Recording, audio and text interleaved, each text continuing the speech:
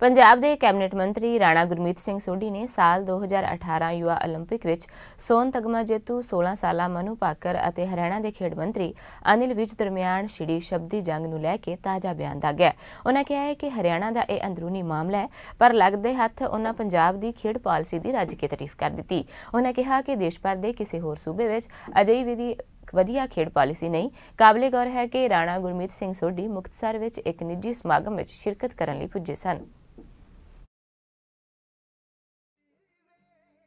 ਨਹੀਂ ਨਹੀਂ, ਉਹਨਾਂ ਦਾ ਉਹਨਾਂ ਦਾ ਸਟੇਟ ਦਾ ਮਸਲਾ ਹੈ, ਉਹ ਹਰਿਆਣੇ ਚੋਂ ਸ਼ੂਟ ਕਰ ਰਹੀ ਹੈ। ਉਹਨਾਂ ਦਾ ਮਸਲਾ ਉਹ ਹੱਲ ਕਰਨਗੇ। ਸੋ ਮੇਰਾ ਉਸ ਉਸ ਦੇ ਨਾਲ ਕੀ ਤਲਕ ਹੈ ਹਰਿਆਣਾ ਦੀ ਸਟੇਟ ਦੇ ਨਾਲ? ਮੈਂ ਆਪਣੇ ਜਿਹੜੇ ਪੰਜਾਬ ਦੇ ਖਿਡਾਰੀ ਸਾਡੇ ਜਿਹੜੇ ਨੇ, ਉਹਨਾਂ ਨੂੰ ਸਹੂਲਤਾਂ ਦਿੱਤੀਆਂ ਨੇ। ਅਸੀਂ ਉਹਨਾਂ ਦੀਆਂ ਸਹੂਲਤਾਂ 'ਚ ਬਹੁਤ ਵੱਡੀ ਤਬਦੀਲੀ ਲਿਆਂਦੀ ਹੈ ਪਾਲਿਸੀ ਮੈਟਰ ਚੇਂਜ ਕੀਤੇ ਨੇ।